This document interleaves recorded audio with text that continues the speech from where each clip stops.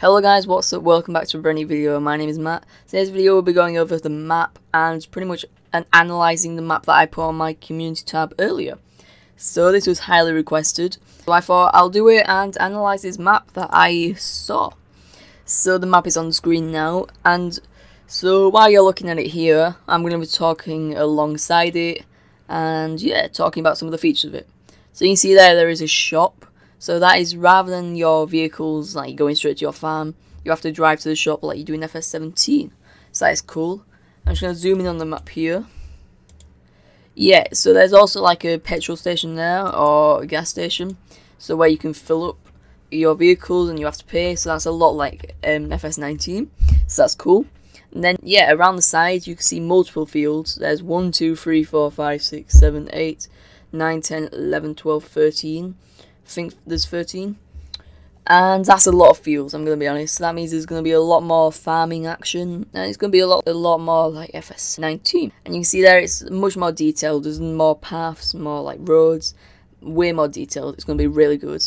I think, this is obviously my estimate, I think it's going to be like this. But I think that FS20 is going to have the same feature as FS19.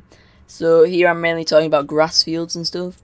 That you can buy land so you can buy parts of the land, you can buy part of the map. So whether that's a field, a forest, anything like that, you can just click on it and buy it, like you do in FS19 if you played that. So I'm thinking, by the looks of this, you can do that with FS20 as well, which means you can buy part of the map and turn them into grass fields if you want, or you can buy a field and turn that into a grass field. It's completely up to you and that's a really awesome feature that has been highly requested. Lots of people have been talking about that, and I think that will be really, really, really cool, yeah. I'm looking forward to playing FS20 all, but with cool features like that. That's what you want to see. And I'm excited for the game, I know everyone else is.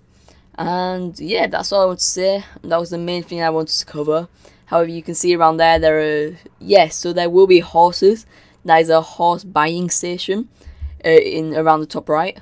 And then there's sheep, cows, and pigs. Yeah, so they're confirmed animals there.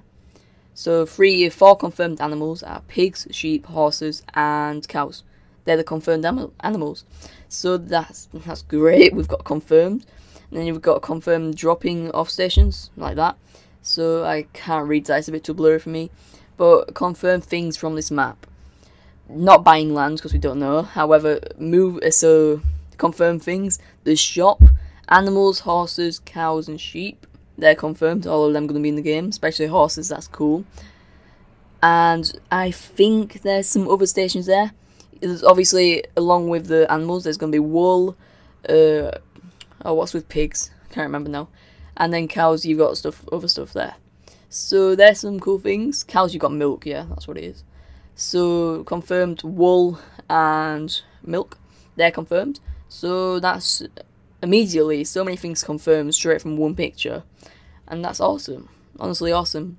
So I think that's going to wrap up today's video. If you did enjoy make sure you do smash a like and subscribe if you haven't already. And this is really important. Turn that notification bell on because whenever I upload I upload randomly anytime. So you don't want to miss the upload and you want to know about FS20 news make sure you smash that notification bell and turn it on and that's all from me guys leave a comment about anything to do with FS20 I, I always reply and answer and I love reading your comments. Amazing. And yeah, that's all from me. See everybody later. Bye.